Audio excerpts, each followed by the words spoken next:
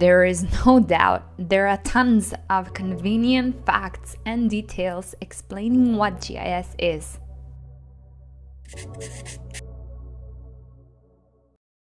Nevertheless, there is one crucial thing that shouldn't be overlooked, and as it is for every important thing out there, it is quite simple. In fact, it's just one question. It's that simple. And the question is how do I know if I really like really need a GIS?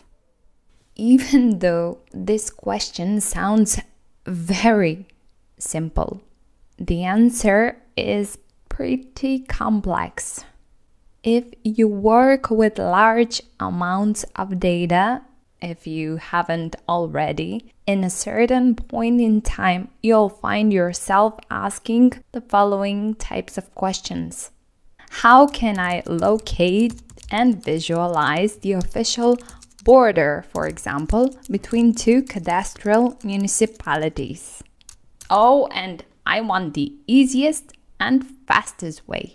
Or I need to find out how many parcels with area between 2 and 4 acres are in my project. And in addition, I want them at a specific distance, like at least 10 kilometers away from the main route.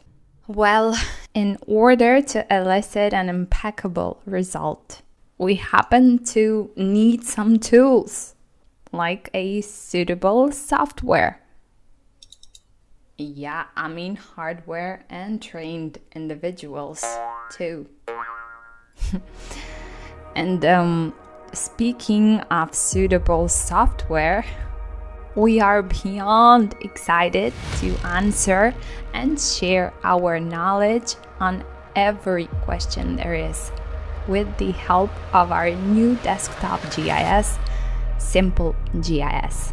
I mean, let's keep things simple right? Let's start.